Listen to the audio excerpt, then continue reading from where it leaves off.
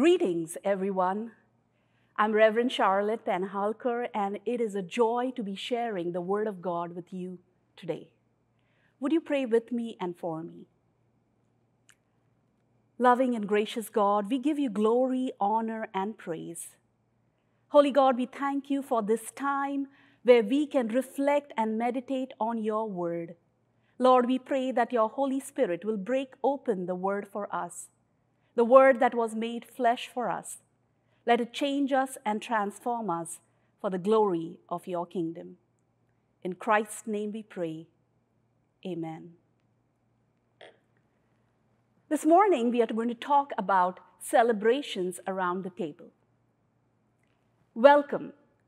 Welcome to our house or welcome home is something we say to our guest, family, and friends.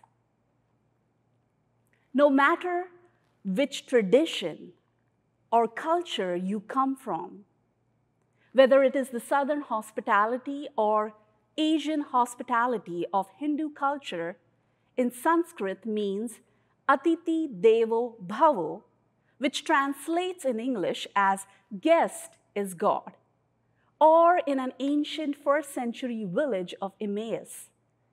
Hospitality is foundational to every tradition and culture. It is seen as a point of honor for families and villages to welcome guests and offer them the best home has to offer. On World Communion Sunday, all are welcomed at the table of grace.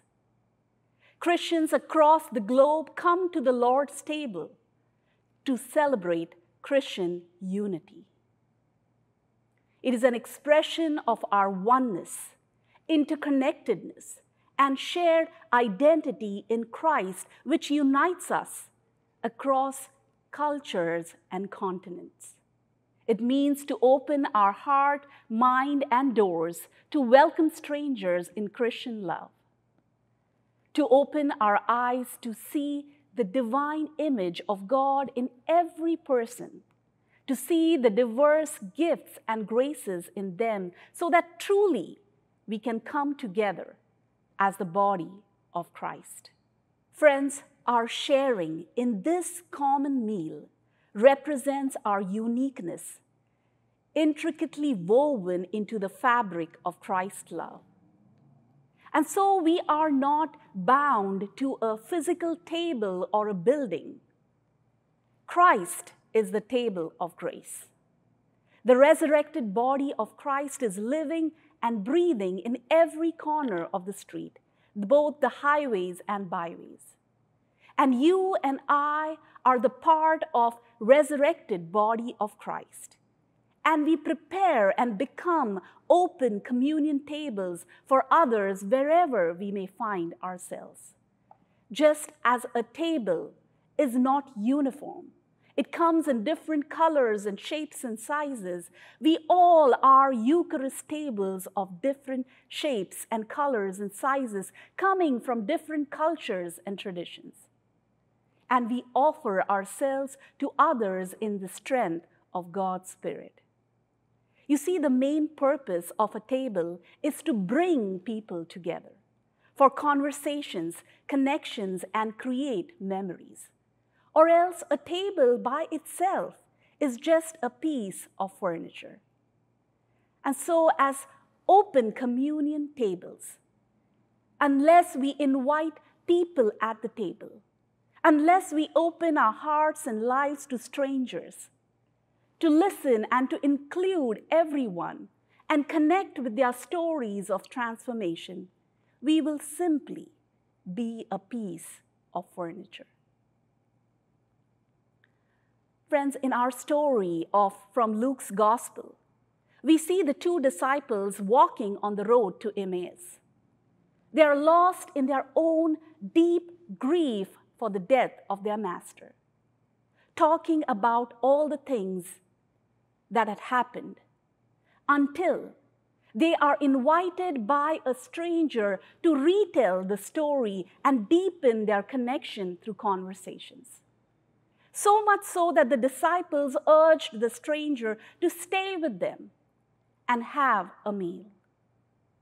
And we see in verse 30, Jesus, when he was at the table with them, he took the bread, gave thanks, broke it, and began to give it to them. In that ritual of table blessing, their eyes were opened to see the stranger in a new light, the true embodiment of Jesus himself. Friends, Jesus is a stranger, a guest, a neighbor, an unknown person still waiting to be welcomed in our culture and in our churches.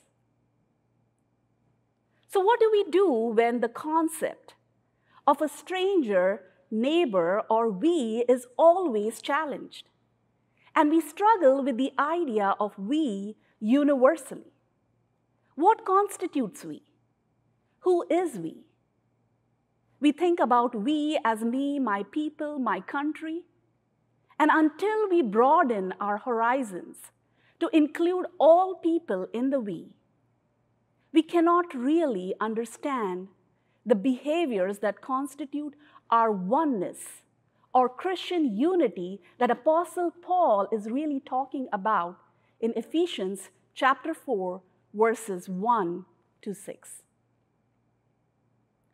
You see, Apostles Paul's cry for Christian unity is directly re related to our behaviors. In other words, our oneness is connected to how we treat each other. Paul is not just, just talking about superficial behaviors or saying hello and shaking hands, but rather truly making an impactful change. Behaviors that speak truth in love. Behaviors that work towards making systemic changes in an unjust world behaviors that create policies and procedures for the flourishing of all people, behaviors to make every effort to include all voices, behaviors to create safe spaces where all people are valued and welcomed. And this, my friends, will constitute the newly formed we. How is this even possible? in a world that is filled with so much hate, fear, and discrimination towards a stranger.